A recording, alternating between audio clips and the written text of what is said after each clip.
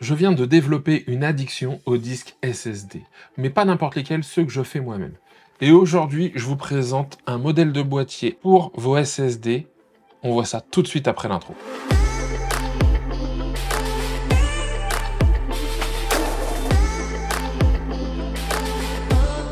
Bonjour et bienvenue sur la chaîne Test de Cyril. Ici, on parle de tech, audio, photo, vidéo, d'Apple aussi, et donc forcément dans cet univers tech un peu d'informatique, de transfert de données, etc. Moi, je crée du contenu sur YouTube, donc ça peut servir dans plein de cas de figure différents. Ça peut servir pour, bien sûr, la vidéo, la photo, le transfert d'archives ou de documents, en tout cas de fichiers, de euh, musique éventuellement, de podcasts. On peut imaginer ça vraiment de différentes façons. Et franchement, ces disques, eh bien, en tout cas, les SSD vont à une vitesse que parfois même nos ordinateurs en interne n'atteignent pas. Et donc, bah, je disais que j'avais développé une addiction parce que bah, c'est une nouvelle vidéo sur ce type de boîtier. Pourquoi je fais ça? Parce que les deux premiers que je vous ai présentés eh bien, ont des bonnes performances, hein, en tout cas voilà, par rapport à ce qu'on a pu voir, avaient pour moi un très léger défaut, c'est le ventilateur. Alors le ventilateur, je sais pourquoi il est là, hein. c'est pour la dissipation thermique, c'est pour protéger le matériel. Encore une fois, ça je ne remets pas en cause. Mais parfois, on aime bien travailler dans un monde totalement silencieux, pas un bruit, quand on fait du montage, etc. On veut vraiment pas avoir un bruit parasite, ça peut arriver. En tout cas, moi, c'est mon cas. Et donc, Zyke m'a contacté et m'a proposé de tester un de leurs boîtiers. Alors ça, c'est un boîtier quand même qui est USB 4 NVMe. Ils annoncent des vitesses assez impressionnante. Alors attention, j'atteindrai certainement pas ces vitesses. Pourquoi? Parce que ça dépend de votre machine, ça dépend également du SSD que vous allez mettre à l'intérieur, ça dépend de plein de paramètres. Moi, l'objectif, c'est que ça aille plus vite que mon SSD habituel. Je rappelle, donc, ben moi, j'ai à la base, je pars d'un petit SSD comme ça. Hein. C'est un SSD, un petit boîtier SSD. Hein. J'aime bien maintenant les fabriquer moi-même parce qu'entre guillemets, les fabriquer, c'est très rapide, c'est très simple. Mais surtout, eh bien, c'est que euh, c'est quelque chose qui est limité à l'USB 3. Donc, je suis limité à 10 gigabits par seconde. Là, on arrive à 40 gigabits par seconde parce qu'on est sur de l'USB 4. Donc, ça peut être très intéressant, sachant qu'ils annoncent jusqu'à 3,8 gigabytes par seconde en lecture et 3,1 en écriture. Donc, c'est quand même assez rapide, assez impressionnant. Comme d'habitude, Zyke m'a envoyé ce produit pour le test. Ils ne voient pas la vidéo avant, ils ne m'ont pas dit quoi dire, je suis libre de faire ce que je veux dans ce test. Allez, on continue. Alors, une fois que j'ai dit ça, eh bien écoutez, on va procéder au déballage, on va l'installer, on va regarder par rapport à celui que j'ai en 10 gigabits par seconde, les gains. On va également tendre l'oreille pour voir s'il fait du bruit. Et puis ben, moi, je vous donnerai eh bien, une conclusion dessus. Allez, on perd pas de temps, let's go pour le unboxing. Alors, on est parti. Ben, le voilà, hein. donc là, vous avez, je ne vais pas perdre mon temps derrière quelques indications, mais nous, on va ouvrir, c'est ce qui est à l'intérieur qui nous intéresse le plus. Hop là. Alors déjà, c'est un peu lourd au toucher. Hmm, déjà, premier point, un petit câble tressé. Il n'est pas très long, mais c'est la première fois qu'il y en a un tressé. Il est assez fin, donc j'aime bien. Petit velcro, je le mets là. Il est très très bien ici. Bon, ensuite, on a forcément bah, une notice en anglais et en chinois, je suppose. Alors, pour information, Bien évidemment, je le dis, hein, il peut être rétrocompatible, donc avec le Thunderbolt 3, d'accord, ou l'USB 3, le 10 gigabit, etc. Il accepte des disques NVMe jusqu'au 2280, ça c'est la longueur, et qui vont jusqu'à 4 Tera donc de stockage. Normalement, je crois qu'il est sans outils, et d'ailleurs, bah, si on regarde bien, il n'y en a aucun de fourni. Donc, hop, on continue, c'est bien protégé, bien emballé, il y a de quoi faire. Alors, pour information, et là vous allez peut-être le voir, alors il va y avoir des reflets. Pourquoi? Parce qu'en fait, on n'a pas le boîtier directement euh, en aluminium. Voilà ce que ça donne quand on est euh, comme ça. Ok? Il y a un petit truc en plus là, j'espère que vous ne l'avez pas vu, mais c'est la petite surprise du chef. C'est qu'ici, hop, j'ai un logement pour un câble. Un câble très court, certes, mais ça veut dire que j'ai jamais oublié mon câble. Alors quand on travaille bah, sur son ordinateur, et qu'on a son ordinateur portable juste à côté, bon bah voilà, hop, là, l'emplacement, tac, de l'autre côté sur l'ordinateur, et une fois que j'ai terminé, eh bien, je ne l'oublie pas, et ce qui est bien, c'est qu'ils ont mis des encoches des deux côtés, voilà, et franchement, c'est sécurisé, ça ne bouge pas, d'accord? Bien évidemment, on peut faire donc glisser la partie ici protection. Hop, voilà. Et une fois qu'on a enlevé donc de son châssis, eh bien, on va ouvrir pour accéder à l'emplacement du SSD. Donc ici, il y a un petit open. Il faut juste soulever. Hop. Alors, c'est quand même bien fait. Pourquoi? Parce qu'il y a des petites billes là, des petits roulements. Hop. Sur lequel, bah, en fait, ça vient juste faire la pression telle qu'il faut.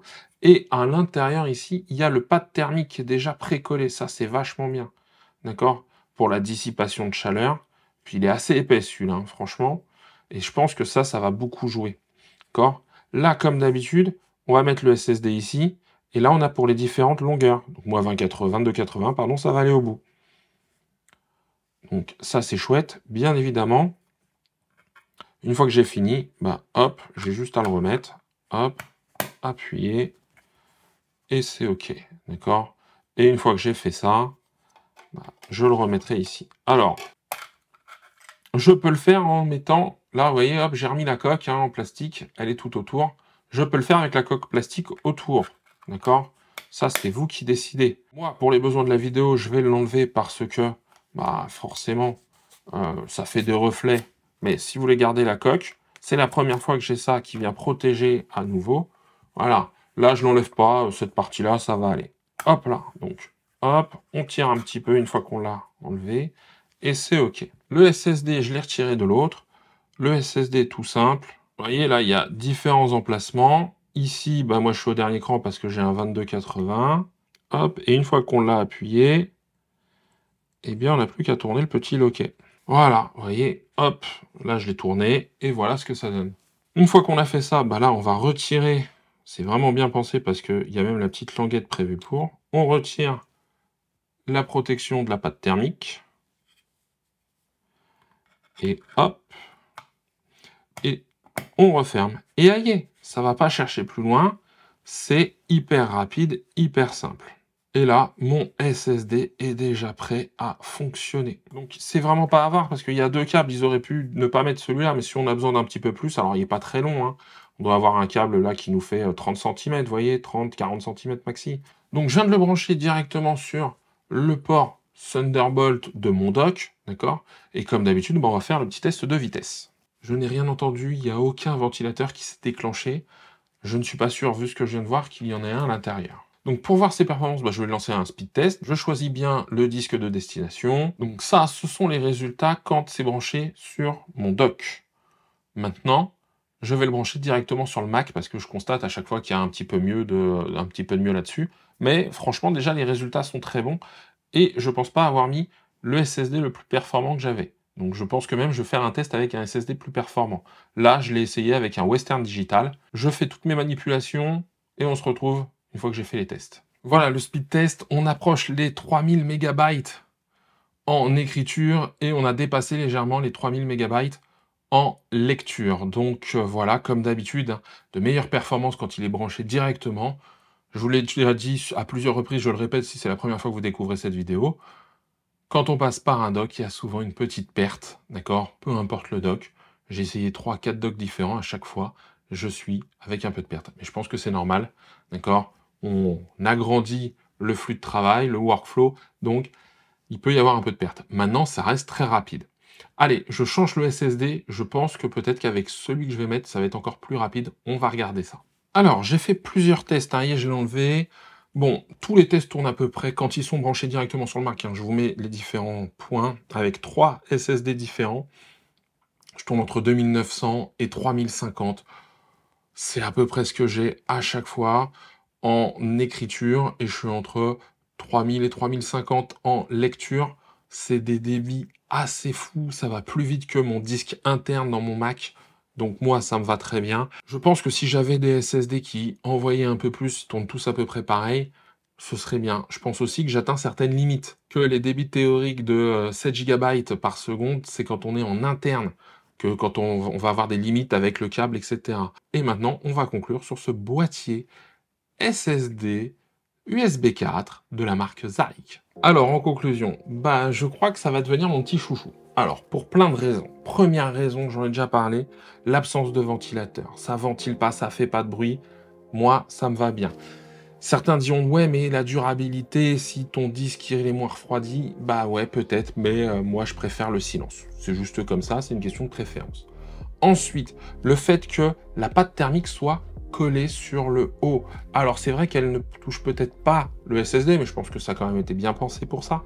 Mais surtout, c'est que quand je change de SSD, parce que pourquoi je fais mes SSD moi-même? Parce que, eh bien, si demain je veux changer de boîtier, qu'il y a une nouvelle norme, mais que mes SSD sont encore bons, je pourrais les mettre dans des boîtiers avec des meilleures normes, ou sens inverse, là c'est des 1 Tera par exemple que j'ai, si je veux avoir un SSD de 2 ou 4 Tera, je commence à préparer le Black Friday, eh bien peut-être que ce genre de boîtier eh ben, va être utile parce que je vais juste enlever le SSD, le mettre dans un autre boîtier. Hein, maintenant j'ai un peu de backup et surtout, eh bien, derrière, pouvoir faire évoluer mon SSD, alors que quand ils sont vendus tout fait, il y a ça qui est un peu plus compliqué.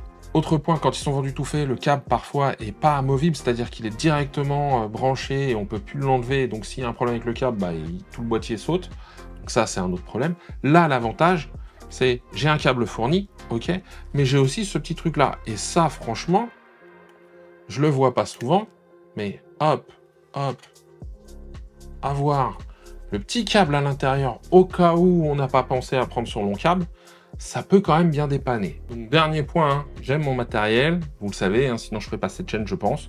Eh bien, si je veux que mon matériel soit protégé, toute cette protection, un plastique qui vient se mettre donc tout autour, et voilà, moi je trouve ça plutôt chouette, hein. je verrai avec le temps la dissipation de chaleur, etc.